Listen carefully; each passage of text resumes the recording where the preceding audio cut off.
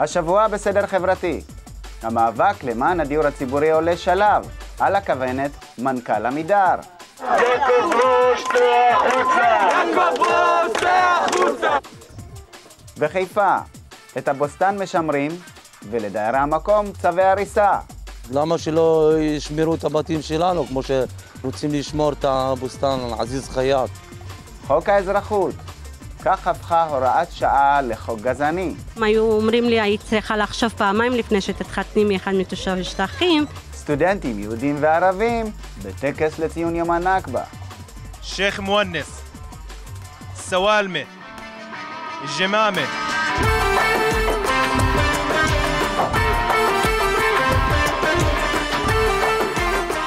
סדר חברתי, מהדורת האקטואליה של הטלוויזיה החברתית. המאבק למען הדיור הציבורי עולה שלב, לא רק מחאה נגד פוליטיקאים, אלא מעתה מסומנים גם בעלי תפקידים הנושאים באחריות למצב החברתי.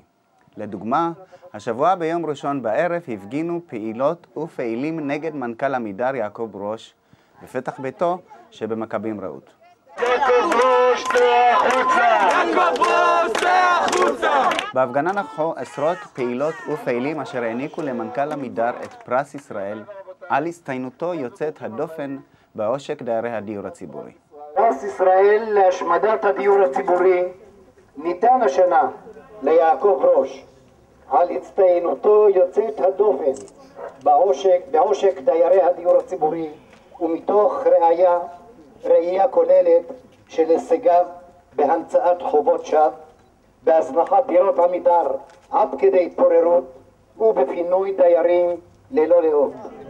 במהלך הקדנציה של יעקב ראש נזרקו עשרות משפחות מבתי יחידות הדיור הציבורי בכל רחבי הארץ אל הרחוב. בסופו של יום המטרה שלנו זה לייצר חברה בריאה. כששולחים אנשים לרחוב מייצרים חברה חולה שפוגעת בעצמה ולא מתקדמת. תעזוב אותו! תעזוב אותו! הבן הבא שנוגע בי מקבל פלפל הפעם.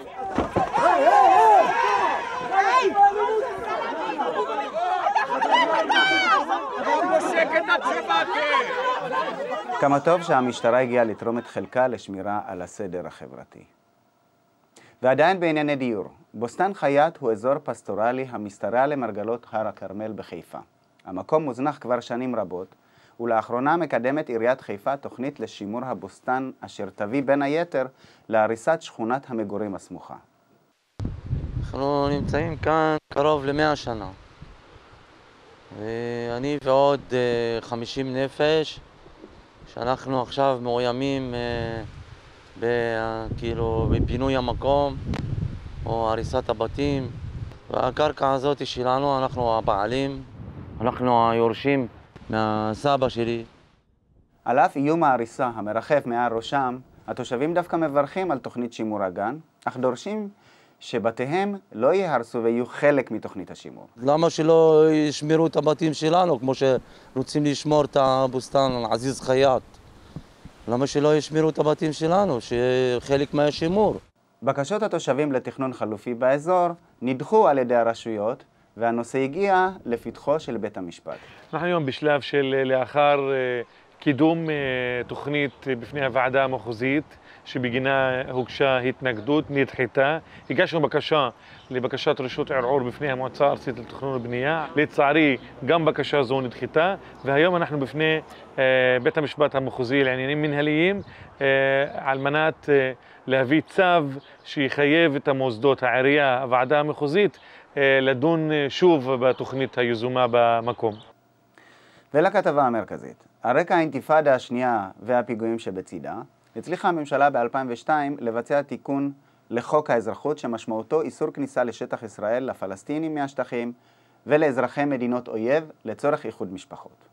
מאז חלף עשור, הפיגועים פסקו, אך הפלסטינים, אזרחי מדינת ישראל, ובעיקר הנשים והילדים, ממשיכים לשלם את המחיר.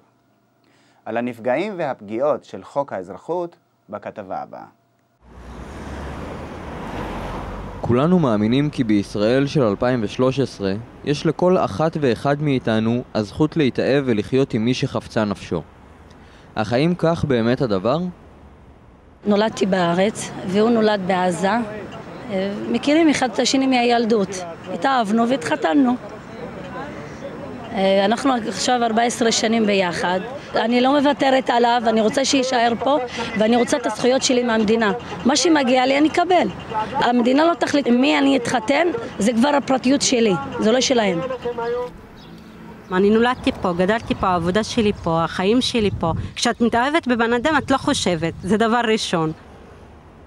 בצילה של האינתיפאדה השנייה חוקקה ישראל חוק האוסר על כניסתם של תושבי מדינות אויב לשטחה לצורך איחוד משפחות. חוק זה, שנקרא חוק האזרחות, נכנס לתוקפו במאי 2002 והוגדר שנה מאוחר יותר כהוראת שעה. כלומר כזה שצריך לחדשו כל שנה. החוק עבר בחודש אפריל האחרון בפעם העשירית ברציפות, והשעה כבר מזמן הפכה למדיניות של ממש. החוק עצמו הוא לכאורה חוק ניטרלי שהוא אומר שאזרח ישראלי אינו יכול להגיש בקשה אה, להכנסת פלסטיני אה, לתוך שטח ישראל, אבל אנחנו כולנו יודעים, נפגעים הישירים אה, מהחוק הזה הם הפלסטינים אזרחי מדינת ישראל. בביטוח לאומי ובמוסדות ההנחה הבסיסית שמי שנשואה לתושב שטחים עברה לגור בשטחים והיא כבר לא תושבת ישראל ושוללים ממנה את התושבות, מה שאומר שלא מגיע לה לא ביטוח בריאות, לא אה, ילדים, ביטוח לאומי, הבטחת הכנסה, שום דבר בעצם. ברגע שאת לא אזרחית או תושבת, אין לך שום גישה לשירותי בריאות ורווחה דרך המערכות הציבוריות. זה אומר שאין קופת חולים, זה אומר שאין אפשרות לראות מומחים, זה אומר שאין אפשרות לקבל שירותי שיקום, אה, כל מה שאנחנו בעצם זכאים לו לא קיים. כשהייתי הולכת לביטוח לאומי להגיש בקשות שהן הזכויות שלי, והפקידות שם גם היו אומרים לי, היית צריכה לחשוב פעמיים לפני שתתחתני מאחד מתושב השטחים, עשה לי ממש כאילו ירידה כזאת. נשים שלא יכולות להסתובב בביטחון, לא יכולות לפתוח חשבון בנק, לא יכולות לעבוד, לא יכולות להוציא רישיון עבודה. ואנחנו צריכים לזכור שמדובר במשפחות שהן ישראליות. זאת אומרת, הילד הוא אזרח ישראלי, אחד מבני הזוג הוא אזרח ישראלי, ואז נוצר מצב שבו בן הזוג השני הוא מעין חי כמו איזה רוח רפאים, בלי שום זכויות, וכל זה בגלל התיקון לחוק האזרחות. חוץ מהנשים, גם הילדים סובלים מהחוק, ובעיקר נמצאים במצב של תהייה מתמדת בדבר מצבו של האב, ולמה הוא לא נמצא איתם. לי אין ספק שיש פגיעות נפשיות ורגשיות לילדים שלא יודעים אם ומתי אבא שלהם יבוא ומתי הוא פה ומתי הוא לא. בעלי לא לידינו. אה, אני יודעת כל תינוק איפה אבא, איפה אבא, למה לא, לא איתנו, מה קרה, למה לא תעודה, למה ולמה לא, הוא לא בן אדם, למה, למה. כל מיני שאלות. אז אני לא, לא יודעת מה להגיד לו, מה לענות התינוק שלי. ארגונים חברתיים מעריכים כי ישנן כ-20 אלף משפחות אשר נפגעות יום-יום מהתיקון לחוק האזרחות. משפחות שלהן אין את הזכות לקבוע היכן לחיות ואיפה לגדל את הילדים. משפחות שחיות בפחד תמידי מפני גירוש של אחד מבני הזוג. אני אימא לשישה ילדים ואני רק מחפשת לחיות בכבוד, זה מה שאני מחפשת. מאז 2003 משמשת הכנסת חותמת גומי להחלטת הממשלה. כך הופכת הוראת שעה למדיניות גזענית הקובעת באופן גורף כי כל הפלסטינים באשר הם מהווים סכנה ומשום כך אינם יכולים לזכות במעמד. 65 שנה חלפו והכאב לא חלף, נהפוך הוא. הניסיון של הממסד להשכיח מעיני הציבור הישראלי את הנכבה ולאיים באמצעות חוקים נגד אלו שיציינו אותה, רק מחזקים סטודנטים וסטודנטיות, יהודים וערבים, לקיים במשותף את הטקס כפי שהתקיים באוניברסיטת תל אביב بخمس ربع معي. قائمة ببعض من أسماء القرى المهجرة.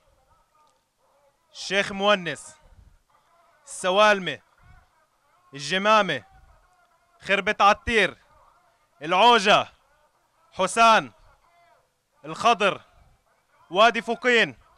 في 6 5 48 دخلت الميليشيات الصهيونية المسلحة وهدمت القرية. شردت أهلها البالغ عددهم حوالي 863 تهجروا ما بين حمص ودرعا في سوريا مخيم عين الحلوة في لبنان מציעים לאזרחים היהודים בארץ להזדהות, לצאת ממשחק סכום האפס של הימין ולהכיר בכך שהעתיד המשותף באמת של שני העמים בארץ הזאת חייב להיות מבוסס קודם כל על הכרה בעוול ועל ניסיון אמיתי ועמוק לתקן אותו. ככה שהטקס הזה הוא אחד הדברים שבעיניי מרגשים מכל ומעוררים תקווה למי שרוצה באמת לחיות כאן בשוויון. פעילי ימין הפגינו במקום במחאה על עצם קיום הטקס ובדרישה לבטלו.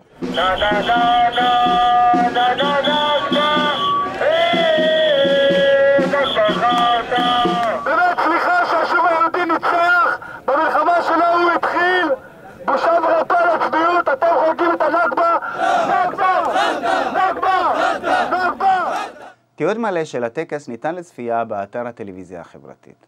ולפני סיום, המחאה החברתית שמקבלת סיקור הולך ופוחת בתקשורת הממוסדת, פעילה ובועטת. מעל 100 יוזמות לשינוי פני החברה נוצרו. חלקן פועלות ברחוב, חלקן פועלות בכנסת, חלקן התאגדו כקואופרטיבים, חלקן היו כאן גם לפני המחאה. בשבת הקרובה ייערך יריד חשיפה ליוזמות המחאה השונות, במטרה לאפשר לאנשים שטרם הכירו את היוזמות ללמוד עליהן ולהצטרף. היריד יתקיים בין השעות 12 ל-7 בערב בבנימינה. חשוב להגיע. עד כאן סדר חברתי להפעם, נתראה במהדורה הבאה.